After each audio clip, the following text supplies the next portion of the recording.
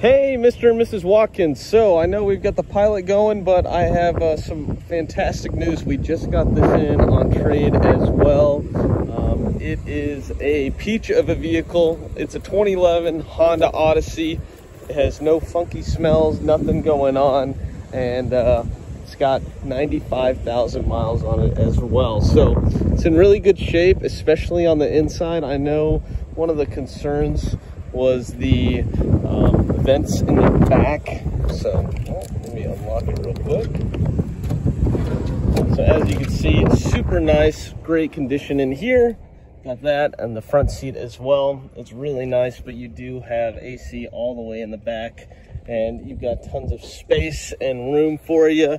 You and the kids, everybody will be having a good time. And I know you've had a vehicle like this before, so uh, headliner's all perfect, no issues there. It's much cleaner as well. So if this is an option, uh, it's going to be just a little more expensive, but something that would be uh, another thing to keep in mind. I know that 2012 Odyssey is something y'all were looking for. This is about as close as it gets, and it just came in.